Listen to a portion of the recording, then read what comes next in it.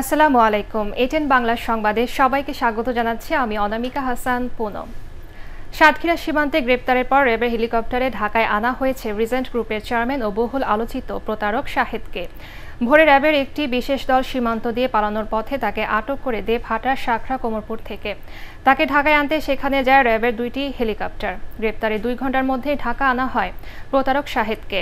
তাকে গ্রেপ্তার এবং পরবর্তী পদক্ষেপ র্যাব হেডকোয়ার্টারে সংবাদ সম্মেলনে বিকাল তিনটায় জানানো হবে।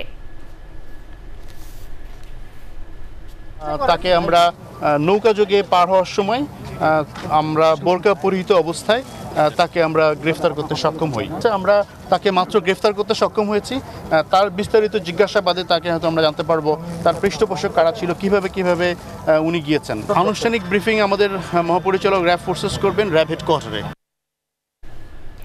সাতক্ষীরা সীমান্তে ইছামতি নদী পেরিয়ে ভারতে পালানোর চেষ্টা প্রতারক শাহেদ। তৈরি ছিল নৌকা। এ কাজে সে সাথে নিয়েছিলেন সীমান্তের এক দালালকে, কিন্তু শেষ রক্ষা হয়নি। নদীতে নামার আগে তাকে ধরে ফেলে র্যাব। শাহেদকে গ্রেপ্তারে নাটকেও সেই ঘটনার তথ্য ছবি সাতক্ষীরা থেকে পাঠিয়েছেন প্রতিনিধি কামরুজ্জামান। জানাচ্ছেন কেরামতুল্লাহ বিপ্লব।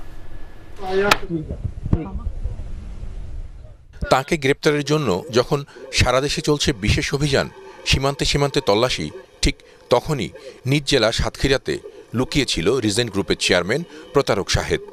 ভাড়া গাড়ি, মোটরসাইকেল সহ বিভিন্ন বাহনে মেয়ে সেজে ঢাকা থেকে সাতক্ষীরা সীমান্তে পৌঁছায় সে। ইছামতি নদী পেরিয়ে বুধবার সূর্য ওঠার আগেই ভারতের বসিরহাট সীমান্তে পৌঁছানোর কথা ছিল তার। বোরখা পরা প্রতারক শাহেদকে ভোর পাঁচটার দিকে দেভাটার শাখরা কোমরপুর সীমান্ত থেকে গ্রেপ্তার করে র্যাব।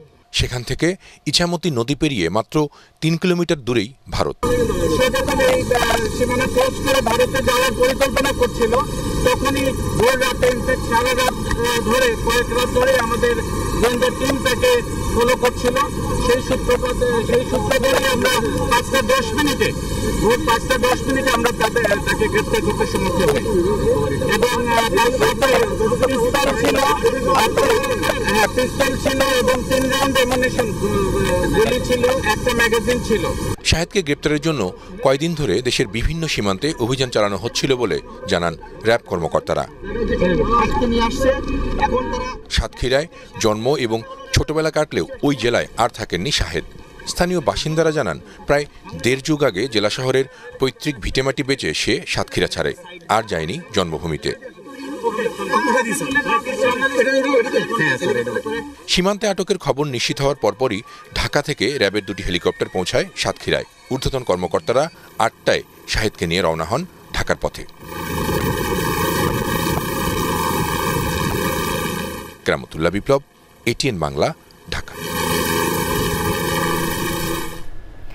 আজ এটিএন বাংলার জন্মদিন। নানা চড়াই উত্তরায় আর ইতিহাসের সাক্ষী হয়ে দেশে প্রথম এই স্যাটেলাইট টেলিভিশন তেইশ বছর পেরিয়ে চব্বিশে পা রাখল।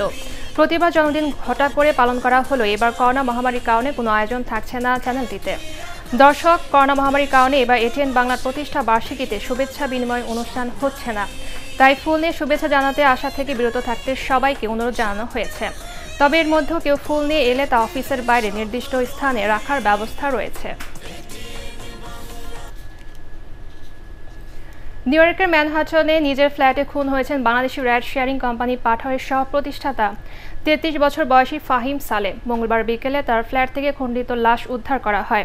ফাহিম সালে চালাতো ভাই জানান তার খালাতো বোন ফাহিমের বাসায় গিয়ে ঘরের মধ্যে কারও সারা শব্দ না পেয়ে পুলিশকে খবর দেন। পুলিশ গিয়ে তার খণ্ডিত লাশ উদ্ধার করে।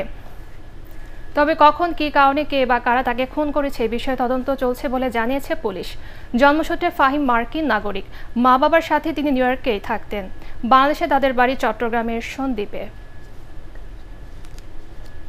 এবারে শেয়ার বাজারের খবর।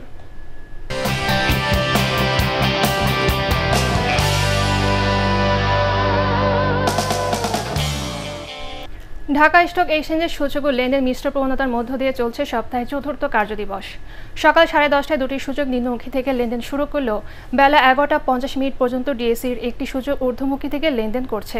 এই সময় পর্যন্ত লেনদেন হয় একশো তেরো কোটি সত্তর লাখ টাকার শেয়ার ও মিউচুয়াল ফান্ডের ইউনিট। লেনদেন হওয়া কোম্পানিগুলোর মধ্যে দাম বাড়ে চুয়াত্তরটির কমে সাতচল্লিশটির এবং অপরিবর্তিত ছিল একশো চুরানব্বইটি কোম্পানির শেয়ারের দাম।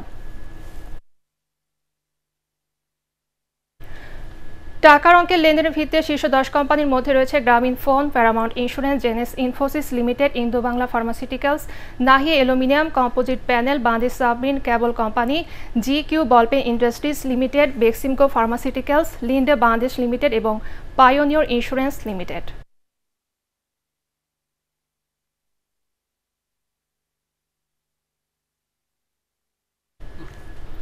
পরবর্তী সংবাদ দেখার আমন্ত্রণ জানিয়ে এখনকার মতো শেষ করছি। সবাই ঘরে থাকুন, নিরাপদে থাকুন।